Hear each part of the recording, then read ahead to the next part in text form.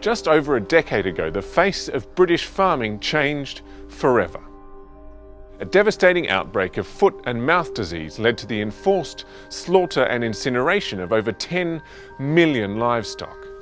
This mass culling halted the spread of the disease in the UK, but the fight against foot and mouth continues today, predominantly in developing countries.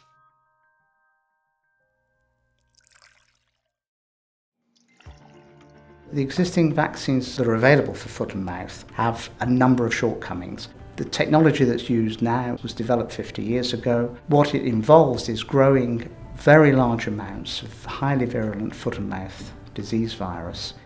And when you then inactivate the virus to produce a safe vaccine, the virus itself is rendered less stable. That means that to be effective, you have to have a cold chain to be capable of delivering the, the, the vaccine. Um, and that's a, a real issue in large parts of the world. Fortunately, cutting edge structural biology research is paving the way for a new vaccine, which could revolutionise farming on a global scale.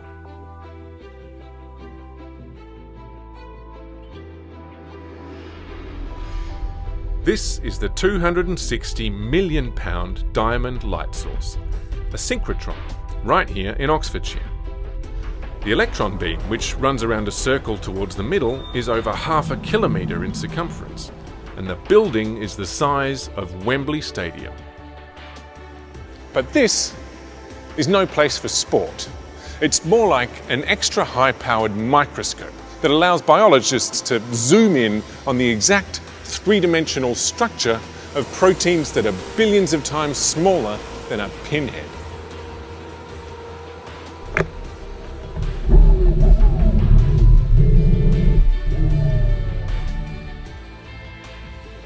Synchrotron X-rays are similar to the hospital X-rays that doctors use to check for a broken bone.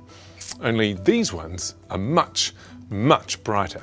In fact, this synchrotron can produce light up to 10 billion times brighter than the sun. So rather than checking for a crack in a broken arm, synchrotron X-rays can help determine the atomic structure of just about anything, right down to the tiny proteins inside our cells.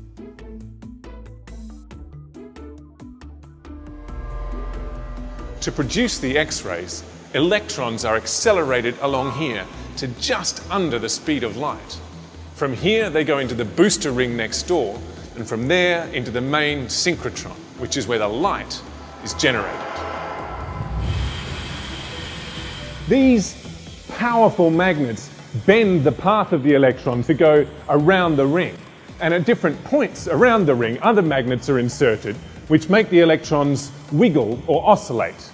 Now, as a consequence of those changes in direction, light is produced, including X-rays, which are channeled out along these huge beam lines where they can be used to study all kinds of materials, including proteins.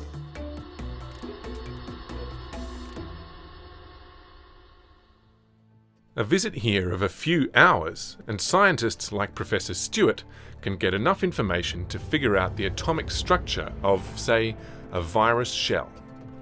In the case of foot and mouth disease, these structures can then be modified into redesigned particles, which are much safer than a live virus and can remain stable at high temperatures.